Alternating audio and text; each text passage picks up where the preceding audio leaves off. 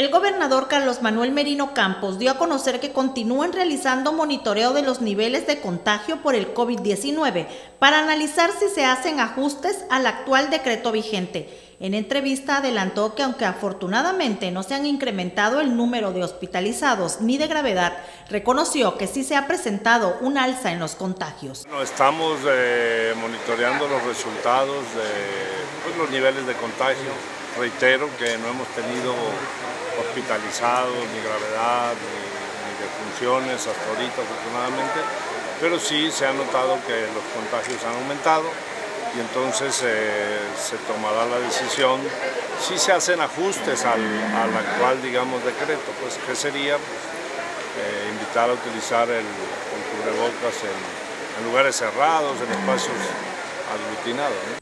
Sin embargo, solicitó a la ciudadanía seguir colaborando y contribuyendo a disminuir los padecimientos. Con información de Marisol Mateos, Noticias TVT.